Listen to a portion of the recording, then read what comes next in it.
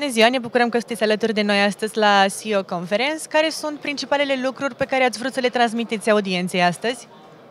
Uh, în primul rând, uh, mulțumesc pentru invitație. Mi-a făcut mare plăcere să fiu la această conferință, să revin la această conferință, care întotdeauna m-a impresionat și m-a provocat prin calitatea audienței pe care reușește să o strângă. Uh, referitor la mesajele pe care am vrut să le transmit, uh, cred că ar, aș vrea ca lumea care a fost astăzi la conferință să rețină trei mesaje. Primul mesaj este legat de securitatea în aprovizionare și de accesibilitatea energiei. Și aici mesajul meu este că încă nu am ieșit din, din criza care a început acum câțiva ani, de aceea firmele trebuie să fie pregătite și să înțeleagă lucrul acesta și să-și ia măsurile ca să, care să impun pentru a-și asigura necesarul de, de energie la prețuri cât mai competitive.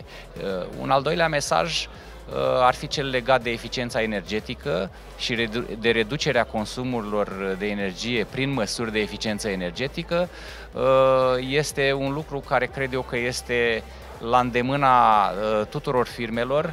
Este un lucru care se poate face imediat prin măsuri mici și uh, ulterior prin, uh, prin investiții mai uh, importante și uh, este acel lucru înainte de a vorbi de alte măsuri poate mai uh, știu eu, uh, cu un grad mai mare de popularitate sau mai, care impresionează mai mult, uh, creșterea eficienței energetice și redu- reducerea implicită a consumului uh, este măsura care trebuie să se afle în permanent pe agenda, pe agenda managerilor companiilor.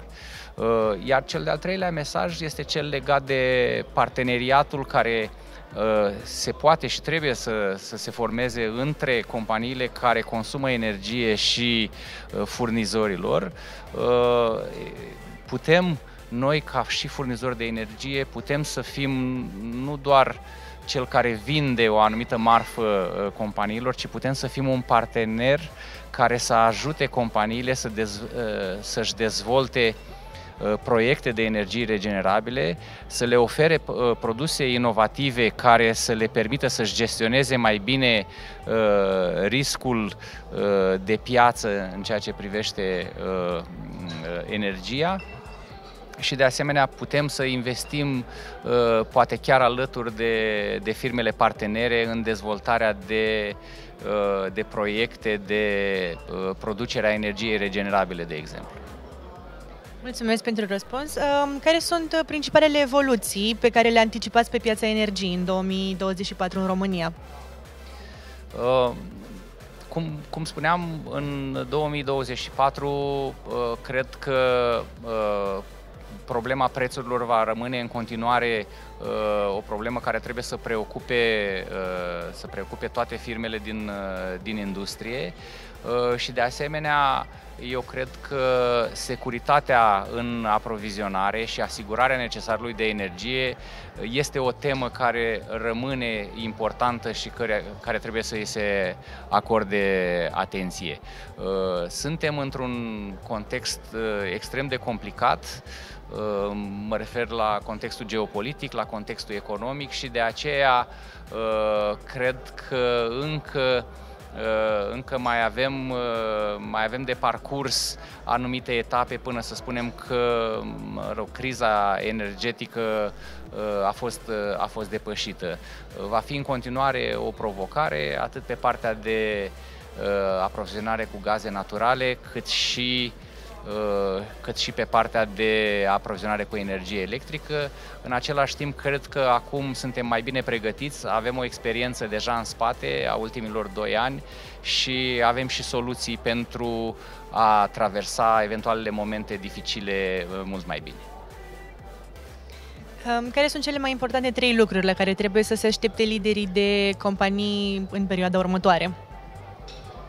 Uh, cele mai importante trei lucruri uh, la care trebuie să ne așteptăm în, uh, în, în perioada următoare. Uh, pe lângă cele despre care am, am vorbit deja, cred că pregătirea forței de muncă și asigurarea necesarului de forțe de muncă nu atât numeric cât și pregătită pentru nevoile viitoare este un lucru care trebuie să fie în atenția managerilor de companii. Vor fi necesare competențe noi, va fi nevoie de forță de muncă nouă și nu este deloc prea devreme de, pentru a ne pregăti de lucrul ăsta. Cred că este chiar uh, ceva extrem de important uh, care, și asupra care trebuie acționat, uh, acționat uh, imediat. Uh, ge, uh, să știe foarte bine costurile, da, să înțeleagă foarte bine cine Uh, uh, care sunt principalii consumatori uh, care generează cel mai mare consum de energie în afacerea lor și ce măsuri ar putea lua pentru reducerea, pentru reducerea consumului. Și trei, să-și înțeleagă foarte bine riscurile la care afacerea lor este expusă în, în contextul extrem de complicat din zilele de astăzi. Am înțeles. Și o ultimă întrebare, cum apreciați conferința de astăzi? Ca întotdeauna îmi face plăcere să vin la conferințele Doing Business. Uh, sunt uh, uh, alături de sau împreună cu Doing Business în aceste conferințe de deja mai mulți ani. Am apreciat întotdeauna calitatea evenimentelor, calitatea audienței și faptul că fiecare astfel de eveniment reprezintă un prilej Uh, de a schimba idei cu cei mai importanți oameni din, uh, din business din România de astăzi. Mulțumesc frumos!